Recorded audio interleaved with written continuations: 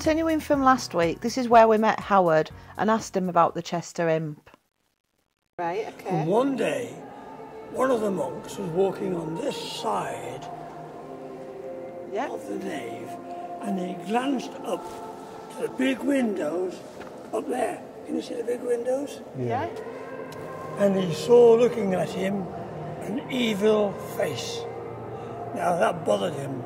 So he ran to the abbot to tell the abbot what he'd seen. Right. The abbot says, well, it was probably the devil looking in. Tell you what, you go and have a stone carving made showing the devil in chains. When you've done it, put it up there by the window, and if the devil returns and looks in, he will see what's going to happen. He will be chained. Right. Now, the image of the devil is right behind me. Two thirds of the way up the wall, close to the big window, second big window in. I can see The it, spotlight is on him. Oh, there Can you see is. a large, round face Yeah. next to the window, right in the corner of the window? Can you see a little? Yeah. That is his face. And his body is to the side, and his leg, you can see a leg at Yeah. the bottom. He's crouching. And what looks like a garland round his neck is actually his arms. Right. His arms are like this. Yeah, yeah. Yeah. He's chained. Ah, He can't so you, you wouldn't- move. Yeah, so if he comes back, he's going to get that. Well, tradition has it that anything nasty will come from the north, because the north is cold and dark. So if he comes at all, he'll come from that direction. He will look in that window, And he'll get and he'll see what's going to happen. He will be chained. Oh, thank you. That's amazing. Well, it's not just an image; it's a story. Yes. Yeah, yeah. Yeah, but we would. Well, we never have found it. We wouldn't have found it. No, and we you wouldn't have heard the story if we hadn't spoke to you. So thank you very much. Well, it's not, yeah, you need to know the story to understand. Yeah. yeah. Yeah. But that's important to the cathedral because everybody knows this as Chester Cathedral. Yeah. It does have a title, and the title is the, the, the Cathedral Church of Christ and the Blessed Virgin Mary. Right. That symbolises the title. And this young gentleman here has just told us that this is Roman remains. Roman remains are about 2,000 years old. And what did you describe it as? But the- the- Old world recycling. Roman the reset. medieval, medieval recycling. Medieval recycling. What a lovely thought. We've got music going on behind us, so we're not allowed to say too much. This is very, very interesting. Howard pointed out this memorial to Thomas Green and his two wives, Ellen and Dorothy. Uh, Thomas Green was the mayor of Chester in 1569. Uh, Howard asked if there was, we noticed anything about the memorial that was a bit weird, and uh, us two Philistines just looked at it and was like, "No, we don't see now." And that's when he pointed out that all the figures had had their hands chopped off, and apparently it was because Chester sided with King Charles I in the Civil War, and when Oliver Cromwell's men got into Chester, they thought because the hands was clasped in prayer, it was a bit too Catholic, a bit too popish, so chopped them off. It's, it's very engaging, wasn't he? He was very enthusiastic, uh, enthusiastic about what he was telling you. Very knowledgeable, cracking lad. He was. So yeah, very. very now we're on our way for the coffin of St John. That's right, isn't it? It is right, yeah. It's just we do see some miserable stuff. Don't we? Let's go look for a coffin. Well, I know, but they're all medieval things, aren't they? They are. Let's So- just see. Where, oh, Google say we'll go this Go way. that way, do we? Uh, but uh, yeah, it was. I think Chester's Cathedral is our favourite cathedral we've been in, isn't it? Oh, we've been in a few. Yes. The Church of St John the Baptist. So we'll find this medieval coffin here then. Wooden medieval coffin we're looking for, aren't we? We're looking for it. Whether we find it or not is a different matter. I think I think it's going to be among that lot over there.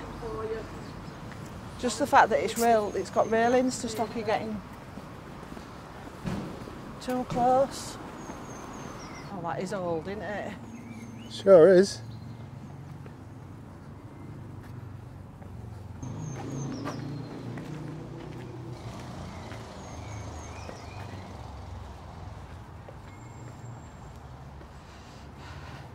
Oh, I feel like Anneka Rice. Says you're on. Stop the clock! Stop the clock! Oh God. Where's the helicopter? oh, there it is. Found it. Yeah. Now stop the clock. Stop the clock. Yeah. Adult to adult or something, isn't it? But yeah, that's it. Medieval coffin in St John's Church. Weird, isn't it? It doesn't say adult to adult. What does it say? It was close. Well, we got some of the letters right. so what does it say? Dust to dust, which kind of makes sense, Yeah, really. yeah. Oh, we enjoy being our own kind of historians, don't we, love? That does not look like an S. I'm no, sorry. It, no, it doesn't look like an S. I'll try and zoom in when I edit so you can see. Let us know in the comments if you think it says adult to adult. We've just found the amphitheatre. Just found it and stumbled across it. Stumble- Yeah, we didn't. Well, we was heading towards Sports Direct, really, weren't we? We thought we'd come here instead. Column fragments originally part of an off- official box above. Hmm. Oh, the official box where the posh people sat then. Well, go on then, go to me some Shakespeare. What? That's what an amphitheatre is, isn't it? Where, Shakespeare. yeah, didn't an, an amphitheatre where they did it amplifies your voice. No, this is where. I think it was, wasn't it? Um, John Fashanu, Awuga, and Ulrika Jonsson.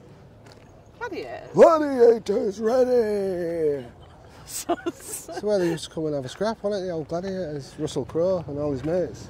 right. So, why is it called an amphitheatre then? I don't know, it's like a theatre, isn't it? I think I've just totally got it wrong. I think you're right. I think an amphitheatre is. Well, look at the That's why I think I've got it wrong. fellas on here. Yeah. Centurions. See, I'm making up all these words as I know what I'm talking about, but uh, yeah, Centurions. Tethering stone. Tethering stone.